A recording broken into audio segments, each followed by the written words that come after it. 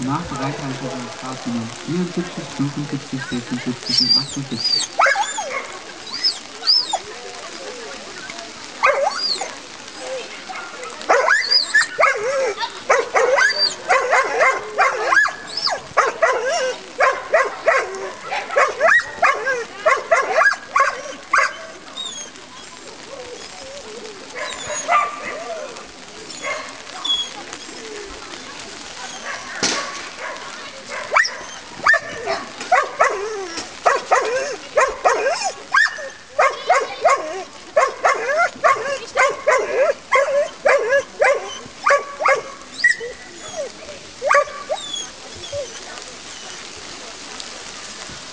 Das war laufend eine Fehler der Zeit von 38,55 Sekunden.